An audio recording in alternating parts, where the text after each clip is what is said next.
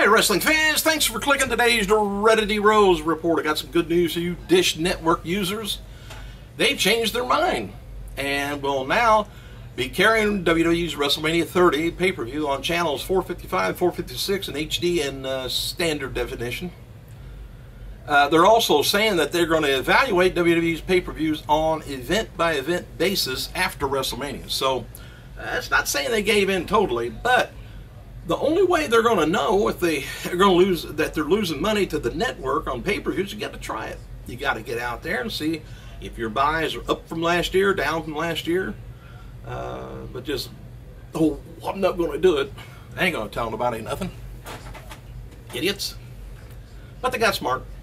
Anyway, Scott Hall, he tweeted about Razor Ramon being inducted. To, did you notice Razor got inducted, not Scott Hall, into the Hall of Fame this year? He says, uh, Thanks to WWE, all the fans at Raw in Brooklyn for the love. Dreams come true. Hard work pays off. Bad times don't last. Bad guys do. All right, several Legends of Wrestling Roundtable, old school events, and Raw flashbacks, WCCW TV, and ECW hardcore television episodes are being added to the WWE network this week, by the way. Don't know whether they're on there today, I haven't looked, but uh, the old WCCW stuff uh, I've got a tape in the back that's got the, the first time uh, uh, Dingo Warrior was ever shown on TV. I think it was like 305 pounds then. Anyway, uh, Sunday's episode of the Total Divas drew about 1.2, 1.3 million viewers, somewhere like that, for about a 1.6 rating. And in the 18 to, demo, 18 to 49 demographics, that's up from the season premiere. People, more people knows they're on. And noted before, oh, last night's Raw from Brooklyn, it was sold out, and the place was so packed in there that there were signs hanging backstage warning people not to ask for comp tickets. There wasn't any. All right, now you know, uh, I've heard much about um, the WWE network problems. You know, over the when it first started up. I don't hear hardly anything now, so the bugs must be worked out of it. And I know I haven't had any problems, but I bet there's going to be a lot of fans when WrestleMania comes next well, week from Sunday. Uh, that uh, there's no way I don't think they can test if there's going to be able to handle a million, let's say, billion WWE Network fans streaming that, you know, into their house. Got a feeling it's going to be a, a nightmare. Uh, I know they've tried it with um, uh, what was it, uh, the Wednesday show, the main event. Of course, they don't have no millions, and, and they tried streaming that live to the network, but I don't know whether they had any problems with it or not. Never heard.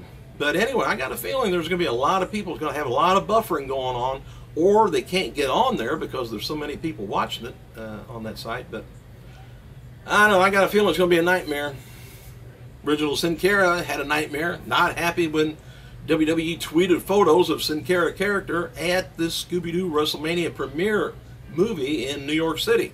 Well, the character is in the movie and the original Sin Cara voiced, uh, voice used, Cara wrote, fraud, fraud on Twitter and sent the tweets to Stephanie and Vince and Triple H before deleting it, though.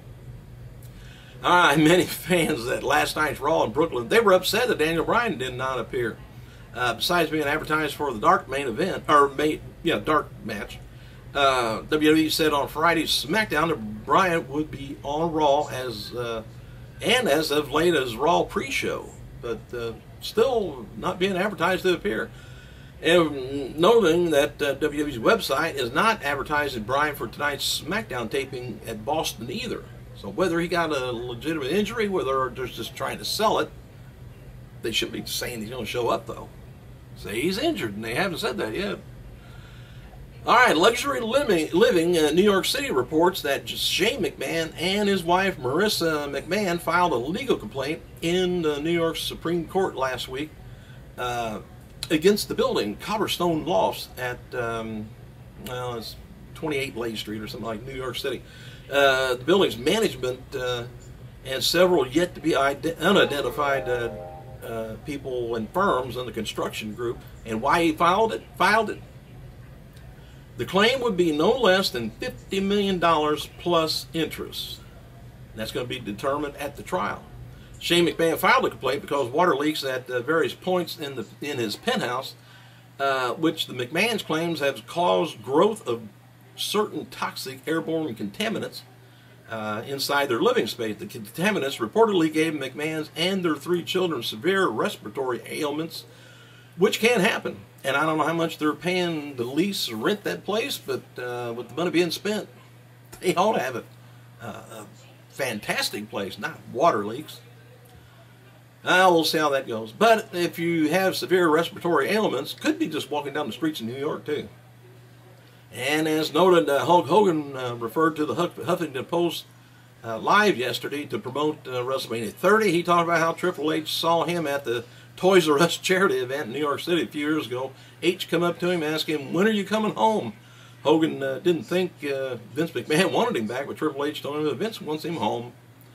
And Hogan uh, noted that TNA public relations worker Mike Weber was standing next to him when Triple H made those comments. And Hogan, uh, once again, say never say never when it comes to uh, working a match again. But he will never do a leg drop again. And uh, he talked about having fun uh, in the ring with John Cena uh, and the Wyatt family last week. yeah, and leg drop has got to be horrible after all these years of doing that on your spine, you know.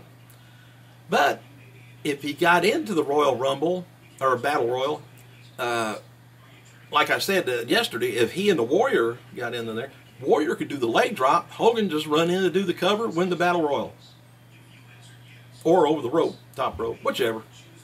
Uh, and going over the top rope, you wouldn't have to go uh, with a battle. I mean, with a leg drop, would you? All right. Anyway, the next WWE statue from Todd McFarlane uh, will be a uh, on Randy Macho Man Savage, paying tribute to his WrestleMania 5 appearance. And WWE's website has photos online uh, where you can check it out. Each figure stands 18 inches tall and is going to be uh, released this summer and has a limited 500 pieces, which each one individually and sub, uh, uh, is substantial in sequence of one, I don't know where they start out, 1 through 500, but and it's going to be signed by, by uh, McFarlane. So, uh, McFarlane, my fault. Uh, so, there's another collector's item for eBay. Don't open it. All right, happy birthday to referee Tim White, 60 years old. If you remember on, uh, I can't remember whether it was uh, Jericho and it was a steel cage match. He was standing on the edge of the ring, and they uh, got uh, one of them got flung. He was on the outside of the ropes, and got bounced off of that into the steel cage. And he was severely injured that time. They had to haul him out.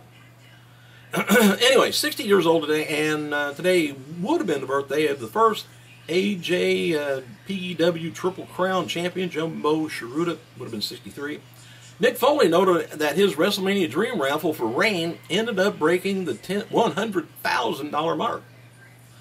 And fans can use the coupons uh, coupon code for a $2 off of former WWE superstar Tyler Reks new Body Spartan book.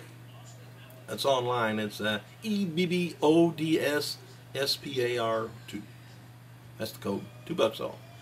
Uh, last night's uh, Raw in Brooklyn was a legitimate sold out, sold out sellout of uh, 15,708 fans. All right, about done. As seen on Raw's opening segment, Batista ripped the seat of his pants when he laid out Randy Orton. Later, he tweeted about the wardrobe malfunction. He said, Thank God I wore good underwear last night. they weren't even my tight jeans either. Uh, shades of the deacon. Remember when he was the deacon? Gotta think back on that. Uh, Vickie Guerrero uh, announced that the Vickie Guerrero Diva Championship Invitational for WrestleMania 30 with AJ Lee defending it against every diva, I think. Every one of them. Naomi Cameron, Brie uh, Bella, Natalya, uh, Nikki, uh, Eva Marie, Emma, Aksana, Alicia, Summer, Rosa, and uh, Layla and Tamina, her partner. Hogan praised John Cena and other WWE stars for their hard work and uh, working in the community with kids. He says, Hogan says, rotten apples don't last long in WWE these days.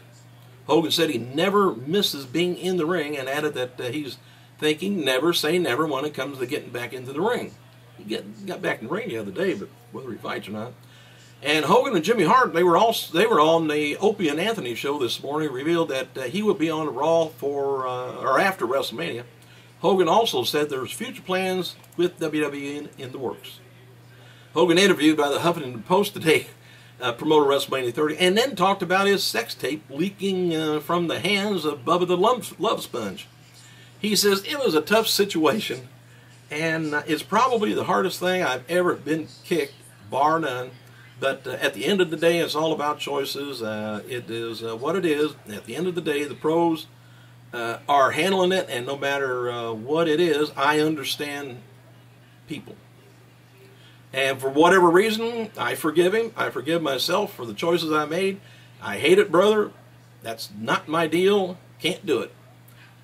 But he was having sex on the tape. I don't know if you knew that. He was having sex with Bubba's wife, girlfriend, or whatever. It happens. Hopefully not around here. Thanks for clicking, you guys. I gotta go.